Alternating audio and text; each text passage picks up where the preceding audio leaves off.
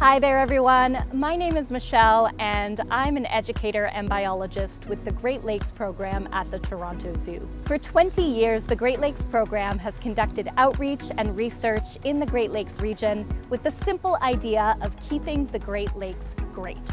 Every year, our outreach technicians travel across the province talking to students and members of the public about the Great Lakes, about their importance, and about the actions, big and small, that we can take to better protect this resource and habitat. Perhaps most importantly, we introduce people to the aquatic species at risk that live in their own backyards.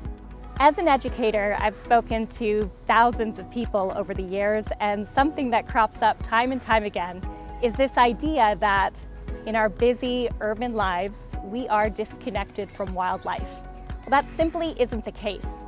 The Great Lakes region is home to some 3,500 different species of plant and animal. This local wildlife lives in our cities, our neighborhoods, oftentimes in our own backyard. So whether it's with a squirrel, a chipmunk, a raccoon, even a coyote, whether you live rurally or in a big city, I guarantee you, we all have a wildlife story.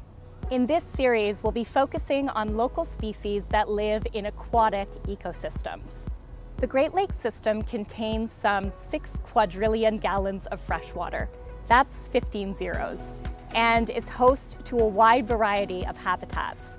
Everything from sandy dunes to deep, cold lakes to wetlands to urban streams.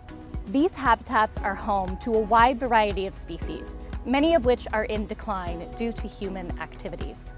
Over the course of this series, we'll be introducing you to three of those aquatic species at risk, the American eel, the lake sturgeon, and the wavy-rayed lamp mussel. Each of these species is part of the incredible diversity of the Great Lakes region and unique in its own right.